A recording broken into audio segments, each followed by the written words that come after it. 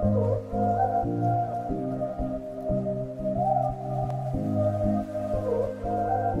name is Giana McKeough and I wear pink for my Aunt Kristen. My Aunt Kristen is the strongest woman I know and she's a role model to me and all of my family.